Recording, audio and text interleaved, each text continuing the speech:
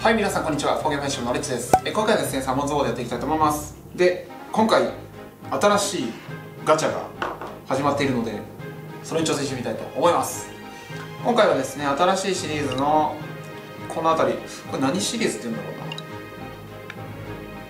な。レジェンドフェス初登場。運命の新宅運命の新宅シリーズ。ですね。えー、まず DK これ呪い系です。レベル2とカウンタータイプ。回避ついてますね。ディケディケオス。ディケディケオスハルマ。あとはミラこれデザインがいいですね。復活が2回ついてるっていう特殊な特殊でかつ新しい感じのあのー、あれですね。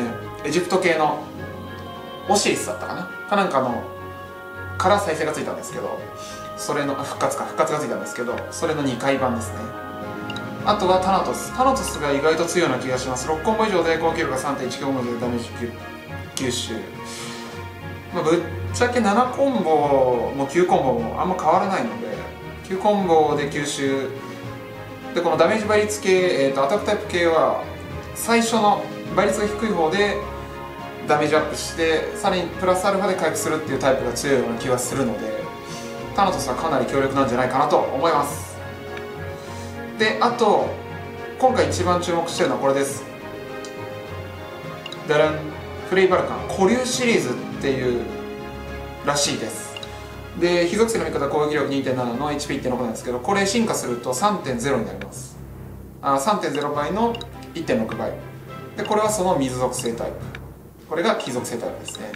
なので僕的に今回タナトスかまあでもアスカがいるのでタナトスじゃなくてもまあ別にまあいてもいいかなとは思うんですけどね、まあ、古竜がいいかなと思います。ちょっと倍率が今高くなってるわけじゃなくて古竜に関しては通常確率なので、まあ、ほぼほぼ当たらないと思うんですけどまあ古竜か、まあ、新キャラクター出ればいいかなと思います。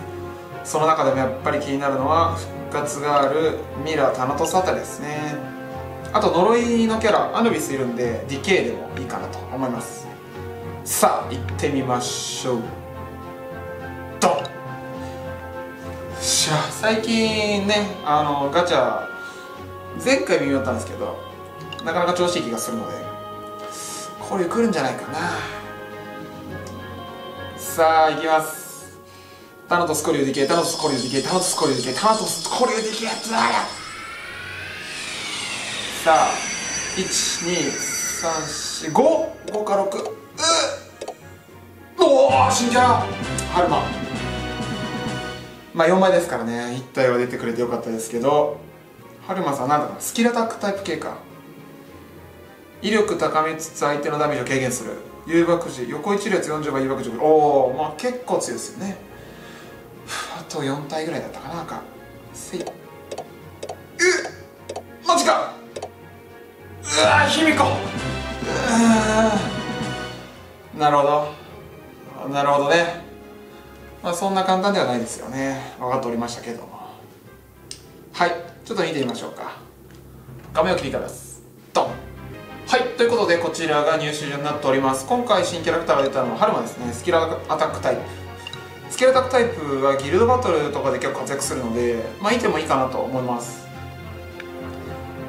しかもレベルマックスで配出されてますね。あと出たのは玄武進化開発されて強力になったんですけど玄武はすでにスキルマのタイミングがなんかなんかでこうスキルレベル上げができるタイミングがあったんで1体もスキルマになっちゃってるので、まあ、もう1体育てるのもあれかなと思いますね。あとヨグソヨグソトース。これも1体持ってますね。これ2体目だと思います。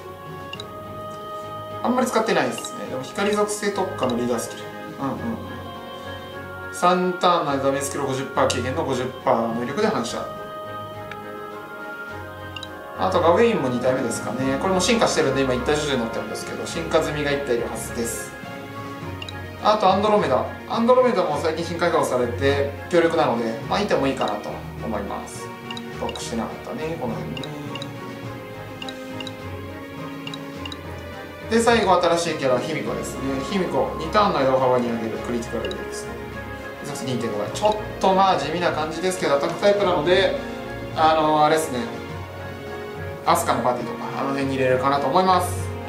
はいといった感じでですねまあはるかさん出てくれたのでまあ良かったかなと思います。はい今回の動画は以上となります。それではまた別動画で。バイビー。